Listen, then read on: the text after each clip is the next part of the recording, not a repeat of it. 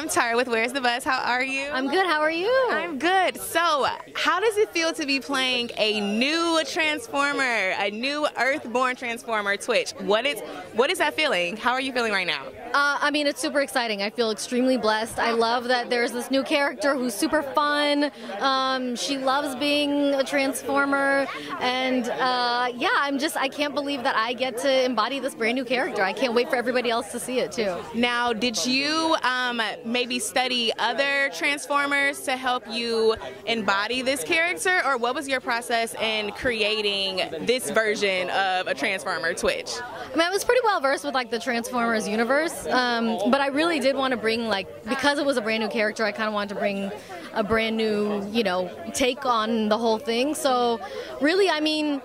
The, in terms of preparation, the, the, the, the character's so well written. Uh, it was all on paper. It was there, like what I needed. And she's so full of energy. And so I really tried to bring, you know, whatever I had that related back to Twitch, her joy, her excitement to be this new robot. I tried to, you know, bring that outside of me to, to, to infuse into her. Yeah. Now, were you always a fan of the Transformers um, franchise? Like, what was your favorite Transformer movie? Oh, uh, that original first Transformers movie with the Shia LaBeouf, that was one of my favorites. I did start watching Transformers at a very young age, um, the cartoon, like back in the 80s.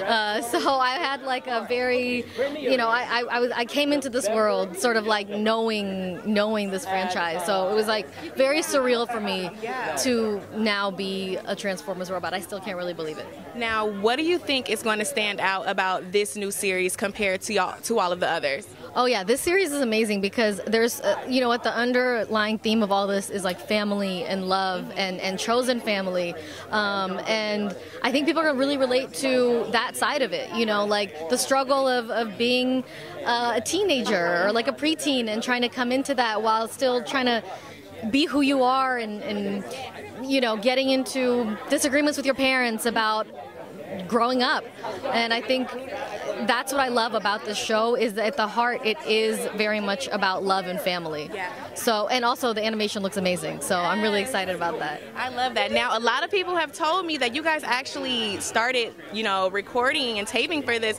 during COVID. Yeah. So what was that like, you know, working behind the scenes and not meeting your castmates until now? I mean, it's crazy. Yeah, I just met Sydney just today. That was crazy. Um, but we did. They were very conscious about having us all do group records. So while we weren't in person, but we were all on Zoom. So there was like whatever it was, like 20 people on Zoom together. So we got to see each other and feed off each other's energy while we were recording, which really helped.